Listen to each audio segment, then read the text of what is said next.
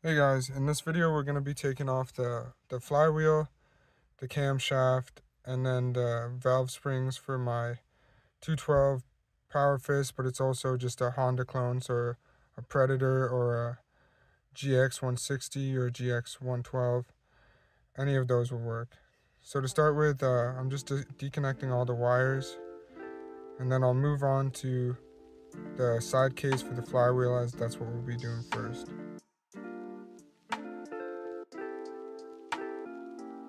To start, we're taking off this flywheel. Um, it was a bit complicated. It's more complicated to get it back on. The reason I want it off is because the plastic at high RPMs or if the governor's removed if you're running NOS will uh, come out the engine like uh, bullets and shatter, right? Because it's only plastic. I'm now taking off the magneto or, or magnet thing that allows the uh, engine to spark.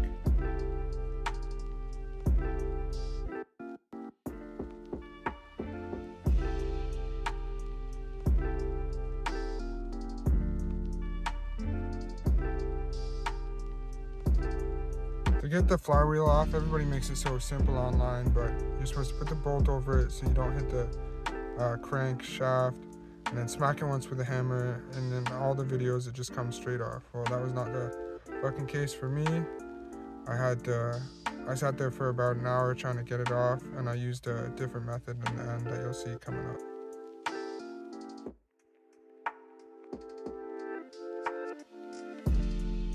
I then tried to wedge the engine with wooden wedges as I put force on it and then did the tap method at the same time. That also didn't work. Uh, I ended up having to call my dad in to help me out just because he's a bit more experienced.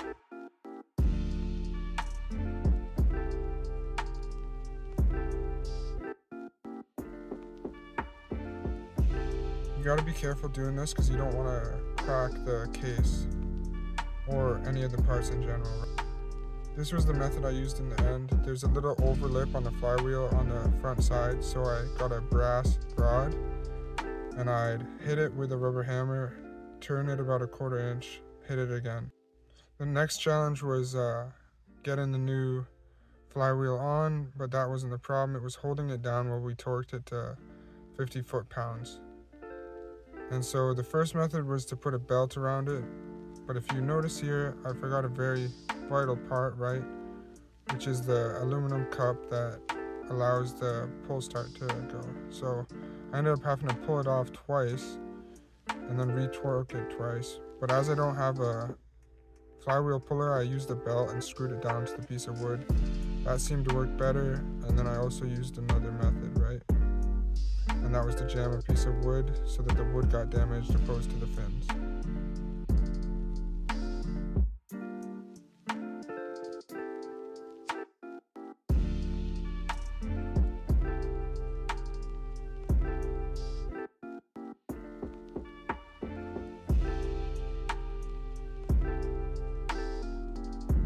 Here the magneto magnet fucking thing. And you'll want to make sure to have your shims to make sure it's the exact right distance away from the wheel. Next we're cracking open the crankcase on the other side as I forgot to record me reassembling the flywheel side.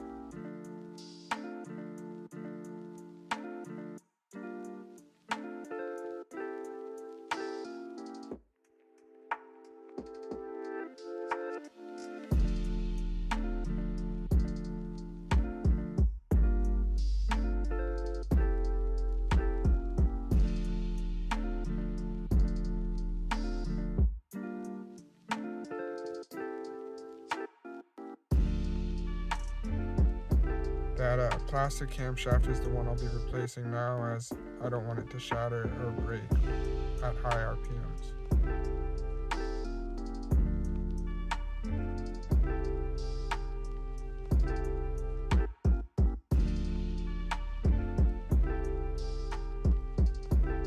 Next, I'm just pulling out this uh, camshaft. As you can see, it's made of plastic and I didn't want it to shatter at high RPMs replacing it with just a cheap little Amazon one.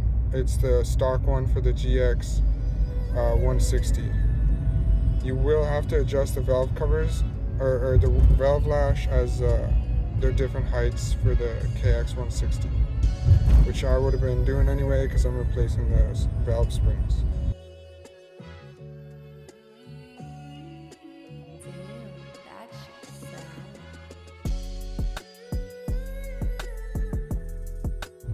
Can't see it in this video, but I did make sure to go back and replace and use assembly lube to put the cam in so that way we're not getting much grinding when we're first starting.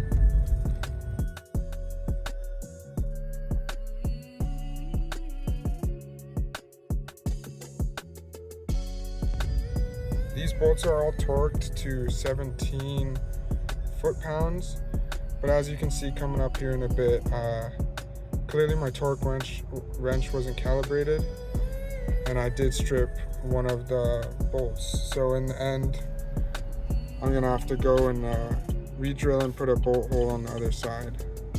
Or a bolt on the other side because luckily the one that I stripped went right through to the other side. And uh, I'll just bolt it. I'll add that in the upcoming clips.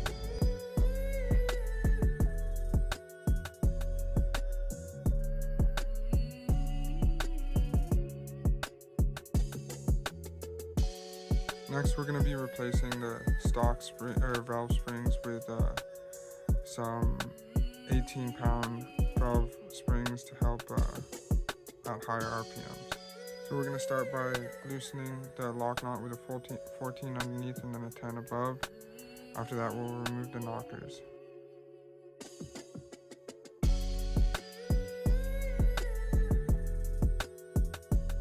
I've seen people do this a couple ways, but the next step is to remove the spark plug and uh, put a piece of paracord down there so the valves don't fall down into the engine bay and you have to go digging.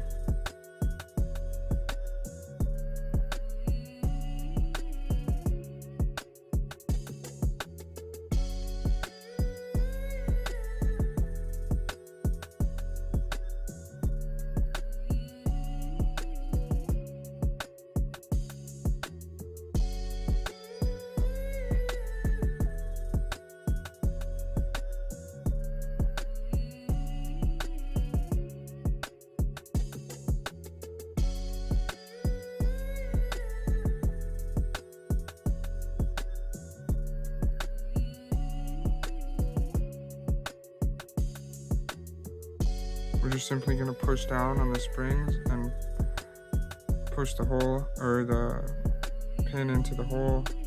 And then on the exhaust valve, we have to take off the cap first and repeat the same step.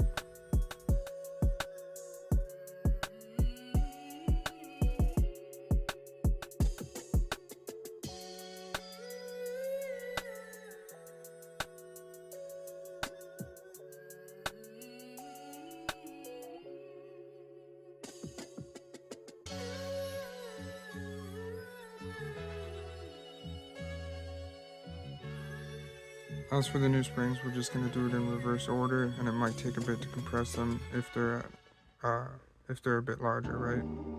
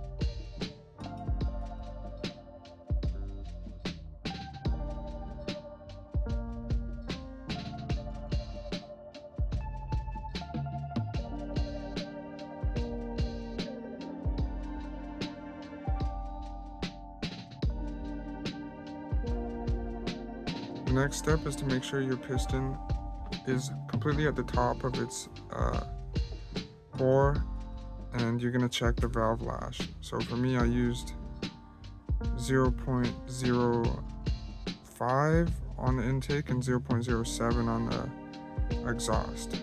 it took a bit of fiddling. You had to go back and forth almost, just because each time you lock, tighten the lock nut, it would also tighten the lash. And you just want a bit of wiggle in between the lash, uh, or you want a bit of wiggle in the lash, in between the rocker and the spring.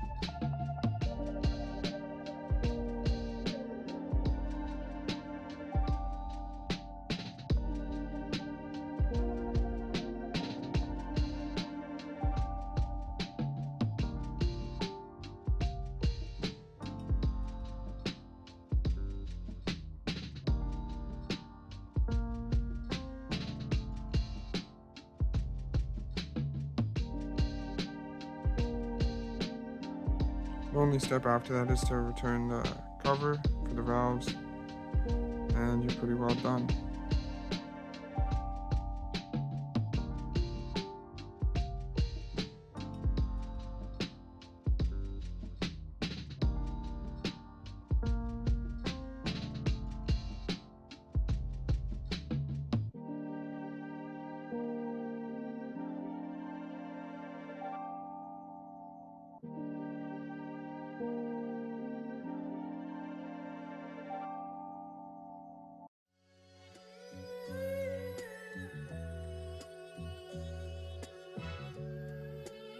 Thanks for watching the video, guys. If you liked it, give it a like. If you didn't, I don't care either way. So, uh, yeah.